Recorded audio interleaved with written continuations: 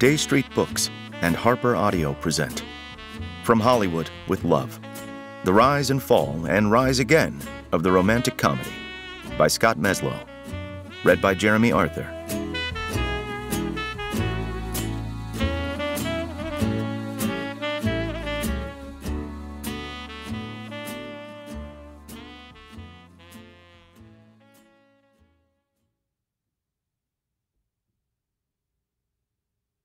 Author's Note How exactly does one define a modern romantic comedy? The genre is too rich a subject for any book to be truly comprehensive, but in the pages ahead, I'll make my case for the specific movies and performers that have defined and expanded the boundaries of the genre over the past three decades.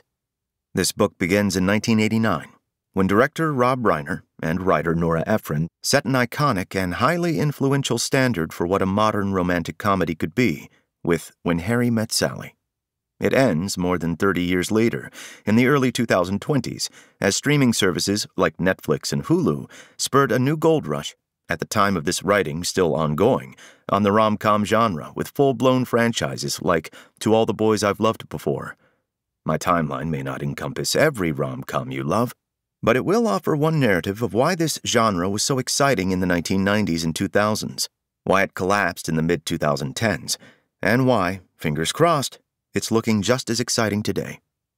In between, I'll track how the genre helped or hindered the careers of an entire generation of movie stars, including Julia Roberts, Sandra Bullock, Hugh Grant, Jennifer Lopez, Drew Barrymore, and Katherine Heigl. Dig into the critical and commercial reactions to these movies and what they say about our ever shifting standards, attitudes, and fantasies about romantic love. And finally, take you behind the scenes of the most influential and best loved romantic comedies of the past 30 years via the producers, directors, writers, stars, composers, set decorators, hairdressers, and anyone else who was integral in bringing these modern classics to life.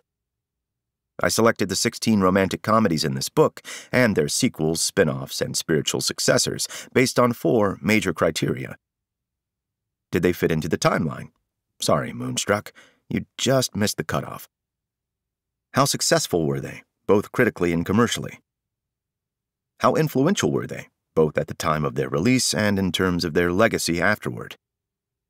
Do they reveal something unique about the genre, or Hollywood, or the cultural moment in which they were made? It also didn't hurt if I really, really liked them. Introduction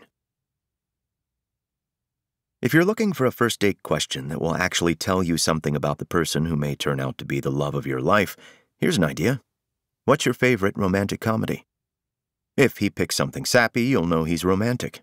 If she picks something raunchy, you'll know that she's funny. And if he sneers and says something like, I don't like chick flicks, you can sit back and relax because, hey, now you know you don't need to go on a second date. More than any other genre in film, rom coms feel personal they're movies people watch and rewatch and rewatch and rewatch and rewatch because, more often than not, they make you feel good. They give you something to laugh at, and they give you something to strive for. Rom coms are, practically by definition, a hopeful genre.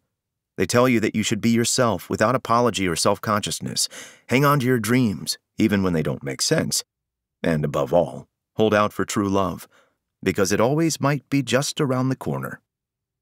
But more than just personal, the rom com is also universal, and one can't overstate the role the genre has played in shaping Hollywood, both creatively and financially, as we know it today. Rom coms were key to launching the careers of an entire generation of A list actors, from Julia Roberts to Tom Hanks to Hugh Grant to Sandra Bullock. They offered the few consistent opportunities for female writers, directors, and producers to make films in one of the only genres that was, more often than not, specifically aimed at women. And all the while, the movies themselves served as a gut check on modern love, offering a revealing historical document on singledom, couplehood, and everything in between. And When Harry Met Sally accomplishes all that in the scope of one movie. Over the rom com boom of the 1990s and 2000s, before the film industry shifted toward a model that prioritized massive franchise generating blockbusters that cost hundreds of millions of dollars to produce, the rom com showed that a different world was still possible, a world where the stars still had more to do than the stunt people, and where a chase through a crowded city street could end with your soulmate giving a teary eyed speech instead of a punch from a supervillain. It was all going so well, with romantic comedies connecting with audiences and adding up to hundreds of millions in box office grosses for the studios that produced them, until the early 2010s, when a combination of bad choices, bad timing, and bad films converged. Like the smarmy ex who shows up at just the wrong moment and ruins everything. But even in the bleakest time for the rom com, a happy ending wasn't far off. Hollywood is an industry that moves in waves and trends, and at the time of this publication, the romantic comedy is looking as strong as it's ever been. Before we dive into 30 years of rom com history, it's important to define what a romantic comedy actually is. As mentioned in the author's note, these definitions are often fluid, but here goes nothing. Too often, a movie is called a romantic comedy just because it centers on a female protagonist. See the premature eulogy for the romantic comedy written by the New York Times critic A.O. Scott in 2008, which appreciatively cites In Her Shoes and The Devil Wears Prada as some of the genre's better specimens, while failing to note that neither movie is actually a rom com. Just as often, a movie isn't called a rom com when it should be. See the filmography of Paul Thomas Anderson, which contains two romantic comedies Punch Drunk Love, and Phantom Thread, that are frequently and snobbishly mislabeled as dramas instead. These debates are best had with friends over a bottle of wine, so for the purposes of this book, I have kept my definition simple. A romantic comedy is a movie where, 1. The central plot is focused on at least one romantic love story, and 2. The goal is to make you laugh at least as much as the goal is to make you cry. If that sounds a little prescriptive, you can always look at individual cases and apply the Donald Petrie test, named in honor of the director who suggested it to me. If you removed the love story from this movie, would you still have a movie? If the answer is no, it's a romantic comedy, like Petrie's own rom com, How to Lose a Guy in 10 Days, a movie I'll cover in detail within these very pages. If the answer is yes, it's a comedy with a romantic subplot, like Petrie's Miss Congeniality, a movie that falls just outside of the scope of this book. So, order your favorite meal. I hope you enjoyed as much as Sally did. Pour a Bridget Jones sized glass of wine, and let some romantic comedies into your heart. If you look for it, I've got a sneaky feeling you'll find that love actually is all around. It's just different. It's a whole different perspective. Harry Burns, When Harry Met Sally. Chapter 1 When Harry Met Sally, and when Rob met Nora and changed the course of rom com history. If historians had to trace the modern romantic comedy's origins to a single time and place, they could hardly do better than the Russian Tea Room on 57th Street in Manhattan in the fall of 1984, when Nora Ephron and Rob Reiner sat down, as writers and directors have done for decades, for what would turn out to be one of the most remarkable lunches in Hollywood history.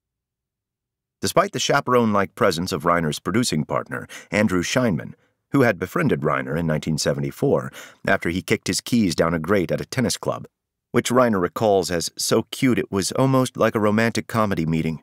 This was essentially the professional equivalent of a blind date.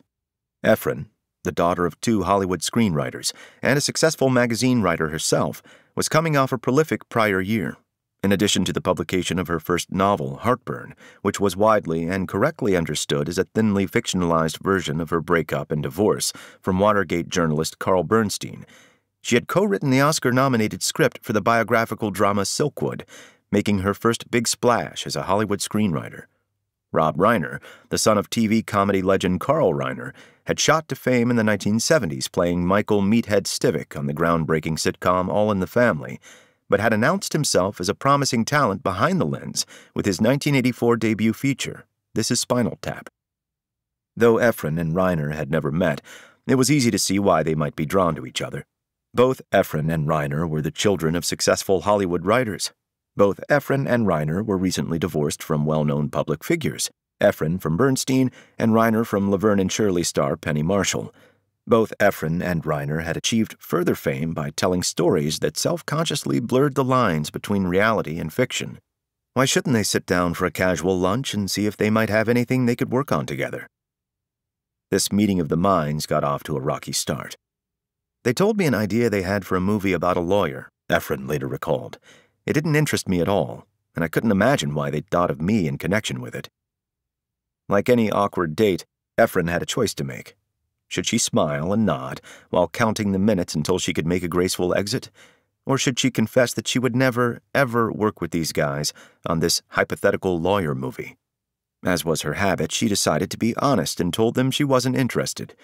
And with no pressing business left to talk about, Ephron decided to fill the remaining time by drawing on the skills that had made her a remarkably successful journalist with a particular knack for writing profiles of cultural icons like menswear legend Bill Blass or Cosmo editor Helen Gurley Brown. By asking deep, probing, sometimes intensely personal questions, the subject quickly turned to the personal lives of Scheinman, a perennial bachelor, and the recently divorced Reiner. Ephron wanted to know what is it actually like to be a single man? By which she meant, of course. What are single men really thinking? Ephron's unquenchable curiosity, her near peerless ability to get to the heart of something, and her knack for repackaging those truths and sharing them with the widest possible audience was a skill set she had come by very honestly.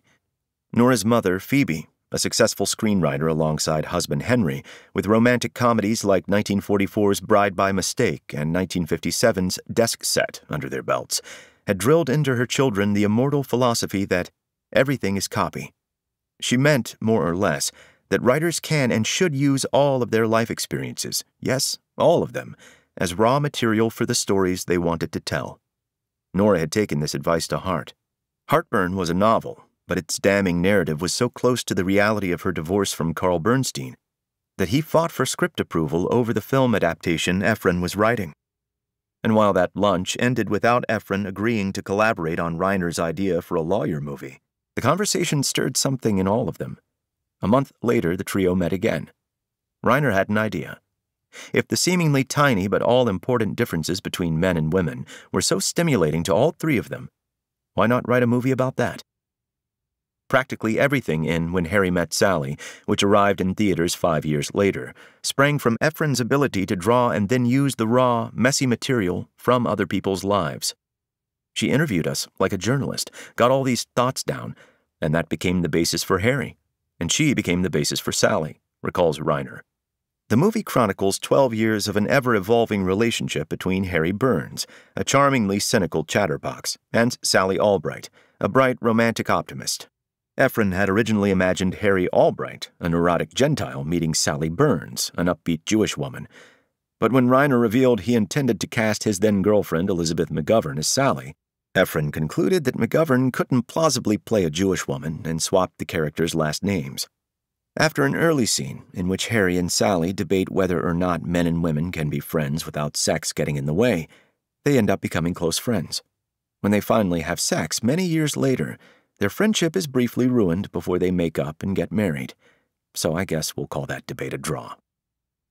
Ephron, who called the writing sessions for When Harry Met Sally as much fun as I've ever had, fondly recalled how she and Reiner fought bitterly about everything, with her taking Sally's side and Reiner taking Harry's side in their debates about what men and women don't understand about each other. Often, Ephron ended up working the substance of those debates directly into her script. Ephron originally called the screenplay Scenes from a Friendship, an homage to Ingmar Bergman's Scenes from a Marriage, which also zooms in on a relationship between a man and a woman. It's no coincidence that the most obvious precursor to When Harry Met Sally is Woody Allen's Best Picture winning Annie Hall, which New York Times critic Vincent Canby said was essentially Woody's Scenes from a Marriage. It had to be him. For the music for When Harry Met Sally, Billy Crystal recommended Marc Shaiman, with whom he'd previously worked on Saturday Night Live. Reiner knew he wanted to score the movie with Great American Songbook standards, and Crystal was convinced that Shaiman was uniquely equipped to track down all the perfect deep cuts. I, for some reason, do know every song ever written, says Shaiman. I went and met with Rob, and I went with my Rodgers and Hart songbook because I was so sure that I could write a book was the most perfect song for the movie. The last line of it is, Then the world discovers as my book ends. How to Make Two Lovers of Friends. It was Rob's idea to use that song, says Shaiman. I don't know whether I ever voiced it out loud to him, but I wondered if it was a good choice, because Diane Keaton sings that in Annie Hall, and there's no question about the fact that When Harry Met Sally is a descendant of Woody Allen movies. But when Rob has an idea, he sticks with it. The soundtrack album for When Harry Met Sally was as much a hit as the movie itself, launching the career of an up and coming pianist named Harry Connick Jr. and sparking a national tour.